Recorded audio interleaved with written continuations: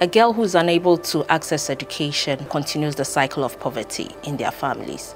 Usually they are married off very early at say 13, 14, 15 years. And then they have children at a very early age and then they have many children that they are unable to take care of. They usually have to be very dependent on their husband's families and they do not usually have a voice in decision making because they do not have much that they bring into the family. So they then continue that cycle of poverty which they themselves were brought into and that becomes a vicious cycle.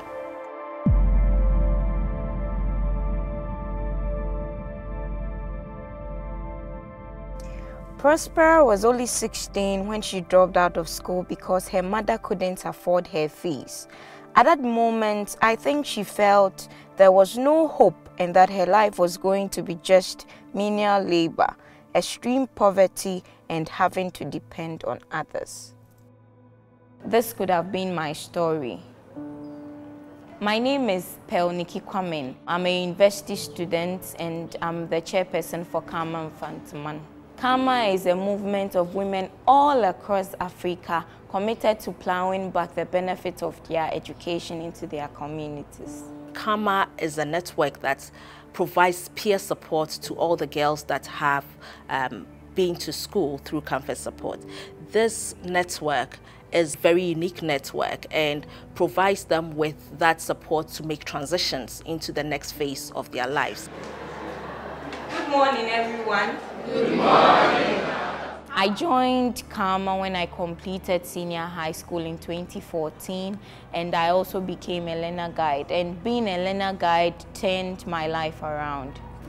Through the learner guides program, we as CAMA are able to address the issues of students in my community and across Ghana.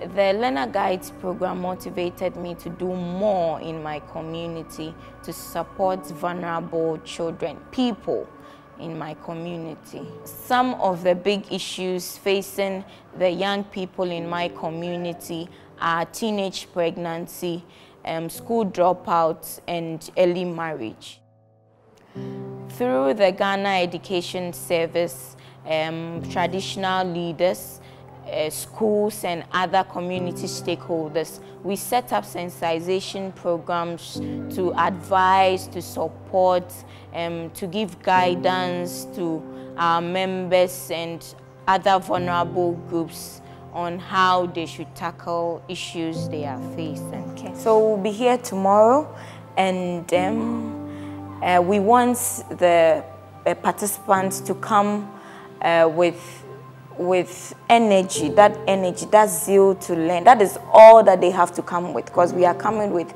everything needed for the training to be successful. We work with community stakeholders to help us identify people in need so we provide them with trainings like the financial literacy, entrepreneurship trainings, um, reproductive health education to help them make healthier choices and to live a secured financial future.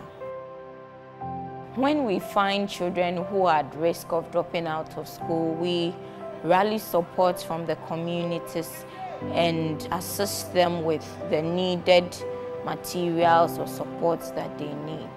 Prospera had been missing from school for almost a year when my other CAMA sisters and I found her.